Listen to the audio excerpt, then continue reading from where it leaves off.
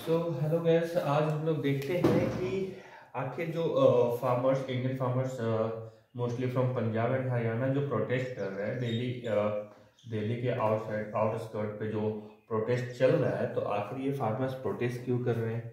इन farmers की demand क्या है? और गवर्नमेंट ने क्या सोल्यूशन अभी तक निकाला है? ठीक है?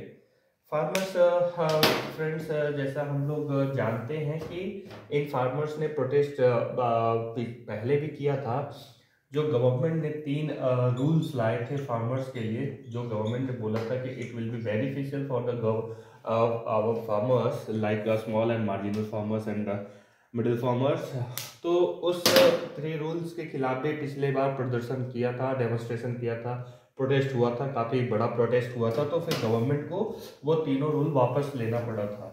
ठीक है माय फ्रेंड अब हम देखते हैं कि आखिर इस बार जो फार्मर प्रोटेस्ट कर रहे हैं तो इस बार इनकी डिमांड क्या है फ्रेंड्स तो इस बार की जो डिमांड है, ये इनकी डिमांड है कि जो एमएसपी जो गवर्नमेंट एमएसपी देती है मिनिमम सपोर्ट प्राइस तय करती है, जिस मिनिमम सपोर्ट प्राइस पे गवर्नमेंट जो प्रोड्यूस है फार्मर्स प्रोड्यूस है, उसको प्रोक्योर करती है, उस एमएसपी को ये फार्मर्स चाहते हैं कि सरकार लीगलाइज करे। मतलब लीगलाइज कर दे। अभी तक ये लीगल लीगल नहीं है। ठीक है? बस गवर्नमेंट फार्मर्स का ये डिमांड है कि एमएसपी को कानून बना दिया जाए।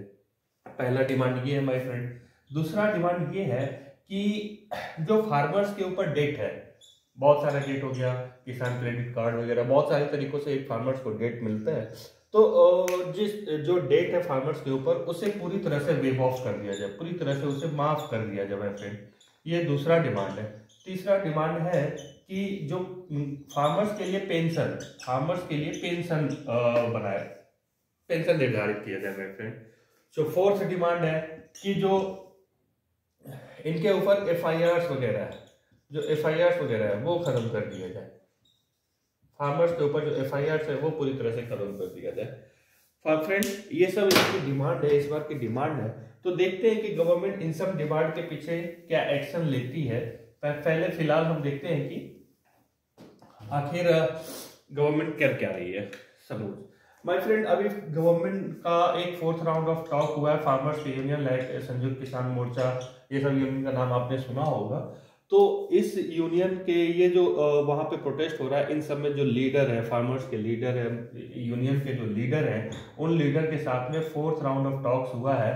इस फोर्थ ऑफ़ राउंड टॉक्स में फोर यूनियन मिनिस्टर थे पीयूष गोयल थे, अर्जुन मुंडा थे, है ना? तो नित्यानंद राय और ये सब मिनिस्टर वहाँ पे थे और जो किसान यूनियन के जो लीडर थे, इनकी फोर्थ राउंड ऑफ़ मीटिंग हुई है। और इस मीटिंग के बाद गवर्नमेंट ने ये अनाउंस किया है कि फोर प्रोडक्ट uh, पे फाइव न्यू प्रोडक्ट्स पे फाइव प्रोडक्ट्स पे ये गवर्नमेंट पाँच साल के लिए for five years MSP for five years MSP तय करने वाली है फाइव प्रोडक्ट पे। ये प्रोडक्ट कौन कौन सा है? तो ये प्रोडक्ट है आपके तीन दाल। अब तीन दाल है एक उड़द दाल है एक मसूर दाल है और एक तूर दाल है। ये सब ये तीन दालों के ऊपर गवर्नमेंट ने बताया कि एमएसपी एमएसपी देने वाली है एमएसपी पे प्रोक्योर करने वाली है, और आपका कॉटन हो गया, ठीक है माय फ्रेंड और एक और हो गया आपका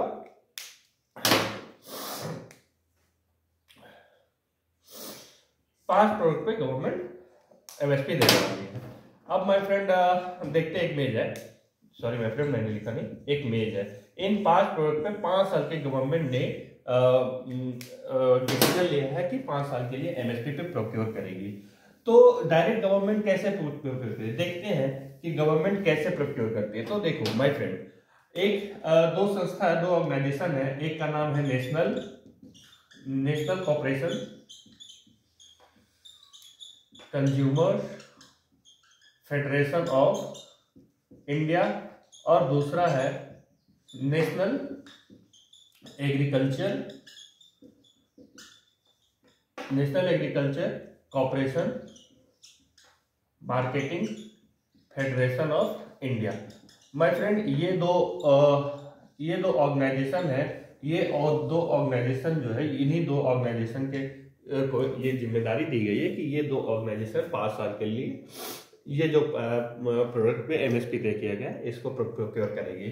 तो ये प्रोक्योर करेगी तूर दाल, मसूर दाल और उड़द दाल और मेज।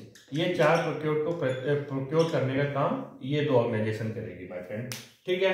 और जो आपका कॉटन है, आपका जो कॉटन है, इस कॉटन को प्रोक्योर करने का काम सीसीआई करेगी कॉटन कॉर्पोरेशन ऑफ़ इंडिया ये प्रोक्योर करेगी माय फ्रेंड तो माय फ्रेंड गवर्नमेंट कुछ तो स्टेप लिया है गवर्नमेंट ने। लेकिन एमएसपी के लीगलाइजेशन एमएसपी के लीगलाइजेशन और pension debt waive off F इन सब के बारे में गवर्नमेंट ने अभी तक कुछ बोला नहीं है। बस अभी एक फैसला आया है कि पाँच प्रोडक्ट गवर्नमेंट ने बोला है five farmers produce agriculture produce इसको एमएसपी पे अगले पाँच साल के लिए गवर्नमेंट प्रोक्योर करेगी। ये नया। ये नया है क्योंकि अभी तक ऐसा हिस्ट्री में कभी हुआ नहीं कि अगले पाँच साल के लिए एमएसपी पहले ही गवर्नमेंट तय कर दे।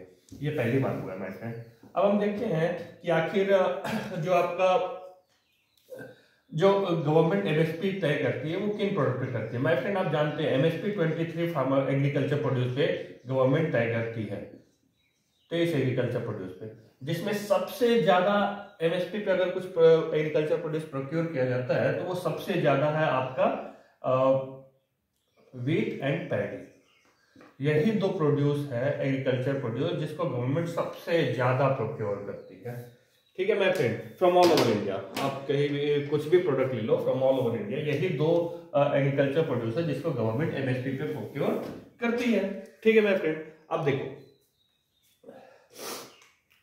अगर हम एमएसपी पे अब अब, आप जानते हैं कि एमएसपी के लिए सबसे ज़्यादा जो लड़ाई कर रही है, सबसे ज़्यादा जो प्रोटेस्ट हो रहा है वो पंजाब और हरियाणा सरकार पंजाब एंड हरियाणा फार्मर्स के द्वारा ही हो रहा है सबसे ज़्यादा। आखिर ऐसा क्यों है?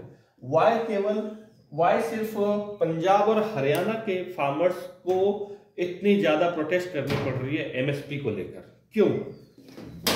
जो डिमांड है, इन डिमांड को लेकर सिर्फ़ पंजाब और हरियाणा के फार्मर्स ही इतना ज़्यादा प्रोटेस्ट क्यों कर रहे हैं? भारत के किसी और राज्य से इतने फार्मर्स क्यों प्रोटेस्ट नहीं कर रहे मैं फ्रेंड देखते हैं। देखो, अगर हम वीट की बात करें तो 2023 में गवर्नमेंट ने approx nine million ton wheat procure किया था। Nine million ton my friend listen carefully nine million ton wheat procure किया था और इसमें जो गवर्नमेंट का खर्च हुआ था वो लगभग नाइनटीन थाउज़ेंड करोड़ रुपया खर्च हुआ था। Nineteen thousand crore. ठीक है माय फ्रेंड और अगर पैडी की बात करें पैडी की बात करें तो पैडी लगभग 2023 की बात कर रहे हैं तो लगभग 20 million ton approx 20 20 million ton paddy procure किया गया गवर्नमेंट के द्वारा और इसमें गवर्नमेंट का खर्च लगभग 36,000 करोड़ हुआ। तो ये दोनों जो एग्रीकल्चर प्रोड्यूस फार्म प्रोड्यूस जो प्रोक्योर किया गया गवर्नमेंट के द्वारा, सबसे ज़्यादा जो प्रोक्योर किया गया, वो सिर्फ़ पंजाब और हरियाणा के फार्मर्स का ही किया गया। और किसी भी अदर स्टेट के फार्मर्स का इंक्लूड नहीं है। आप देख सकते हैं, सबसे ज़्यादा जो प्रोक्योरमेंट हुआ है, वो सिर्फ़ पंजाब और हरियाणा के फार्मर्स का हुआ है। अगर एमएसपी लीगलाइज नहीं होता अगर कुछ होता है तो आप समझ सकते हैं, इतना ज़्यादा प्रोक्योरमेंट जो डिमांड है pension debt waive off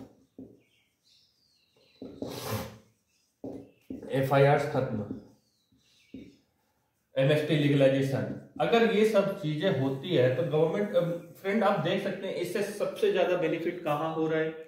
सिर्फ़ पंजाब और हरियाणा के फार्मर्स को हो रहा है। इसीलिए farmers from Punjab and Haryana are protesting too much I am not forcing हम ये ये बोल नहीं रहे कि सिर्फ़ पंजाब और हरियाणा के फार्मर्स का ही बेनिफिट होगा, लेकिन सबसे ज़्यादा आप डेटा के अनुसार देख सकते हैं कि सबसे ज़्यादा procurement from Punjab and Haryana farmers का ही हो रहा है। तो इसीलिए सबसे ज़्यादा फ़ायदा उन्हीं को होता है। तो इसीलिए, ठीक है?